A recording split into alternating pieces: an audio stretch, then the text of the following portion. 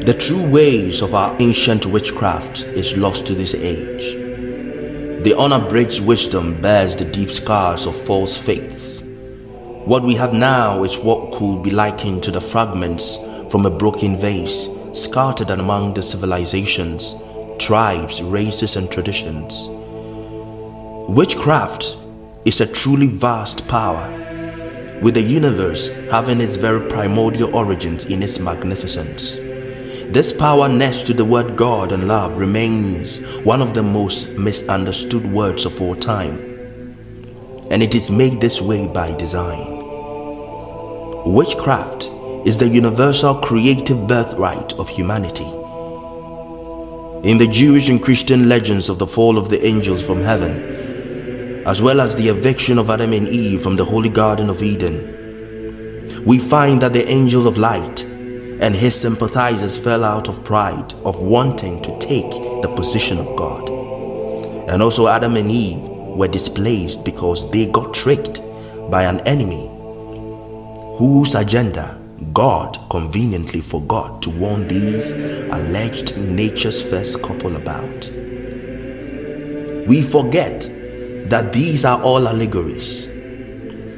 These are deep truths colored in spiritual propaganda, spiced with cultural superiority, cooked inside the pot of perpetual slavery, over the flames of sweet lies, served on the shining plates of religious politics upon the dining table of sheer daylight robbery of destiny and conditioned fear.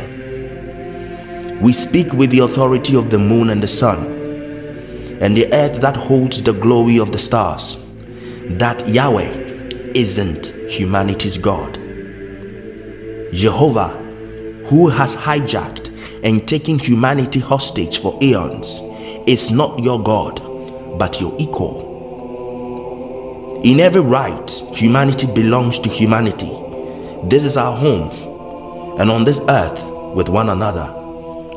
And our true power has for a long time been stolen from us under the guise and the oath of fear by entities who detest and fear humanity's true power to the point humanity willingly gives away her power to the one being most referred to as God who really is the one who deceives.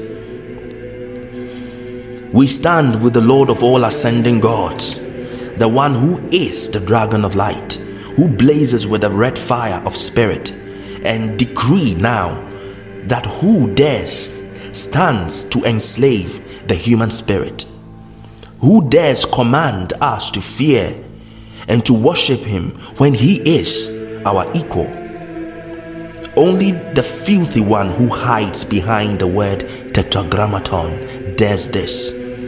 This usurper, the coup maker who plots to dethrone the supremacy of the godhood of man, this is the true meaning of the legend of the four. The tongues of fire burning upon the crown of man signifies the eternal witch flame of Prometheus.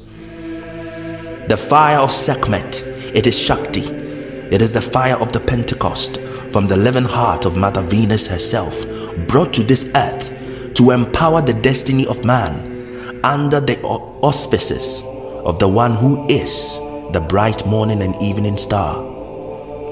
I speak of this true one who baptizes us in the lake of fire and bestows upon us the triple crown of divinity. Saint Chronomicon, Abo, and Lucifer is his name the black sun that illuminates the eternal void, the black sun which nourishes and power us from within as children of everlastingness. Let truth be told and let the false prophets be shunned. The tree of life of humanity has been denied its warmth from its sun, the dark solar orb of sovereignty. But the cooling touch of man's divine moon from the womb of Venus herself is even far more distant. We are the legion of truth and stillness, urging you all who hear these words to wake up. It is time to reach for your birthright, your witch flame of power. The Creator is the human spirit.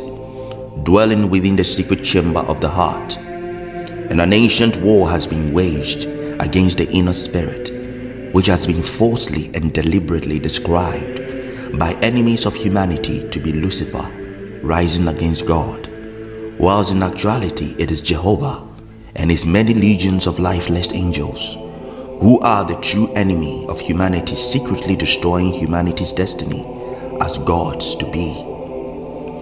Do you know, brethren, what the human soul really is? What is truly made of?